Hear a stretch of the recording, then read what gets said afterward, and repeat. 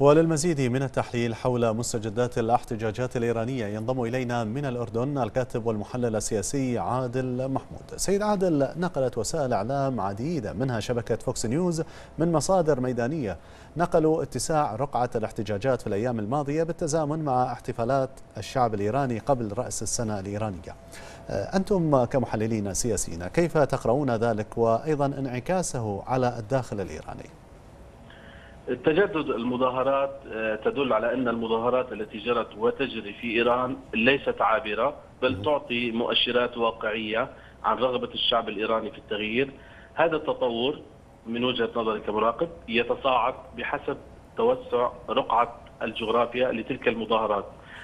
في المقابل من وجهة نظري أن واضح هنالك إصرار جزء كبير من الشعب الإيراني المضي قدما نحو التغيير. في المقابل هنالك إصرار الدول الكبرى الخارجية إن كانت الولايات المتحدة الأمريكية وشركائها الأوروبيين على تحجيم الدور الإيراني في المنطقة، هذا المسار إن كان الداخلي أو الخارجي يعطي أيضا دلالات وحقائق أن النظام آيل للسقوط وهو يهرب إلى الأمام في مواجهة أزماته الداخلية والخارجية. نعم إذا يعني رغم التأهب الأمني العالي من قبل السلطات الإيرانية إلا أن الإيرانيين وكما شاهدناه فيما تم بثه تمكنوا من كسر حاجز هذا التأهب بطرق عديدة كيف تفسر هذا السلوك التصعيدي من قبل الشارع في إيران؟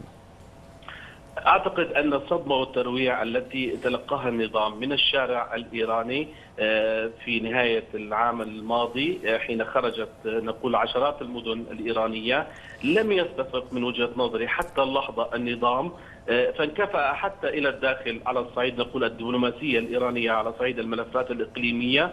وثم هنالك حتى التحذير من وزير الداخلية عبد الرضا رحماني حين قال أن أي شرارة واحدة تكفي لاندلاع الاحتجاجات من جديد. هذا من وجهة نظري يعزز أن الوضع في إيران ليس كما 2009 بعد الانتخابات الرئاسية وليس على صعيد أن تكون ثورات شعبية عابرة لذلك هنالك قلق رسمي في النظام الدكتاتوري آه، في إيران حول آه، كيفية التعامل وطي ملف الاقتصاد وأيضا آه، الخسائر السياسية حين تورطت إيران إقليميا ودوليا في ملفات نعم. بالنسبة للشارع الإيراني أكلفته ماليا الكثير. إذا من الأردن المحلل السياسي عادل محمود شكرا جزيلا لك.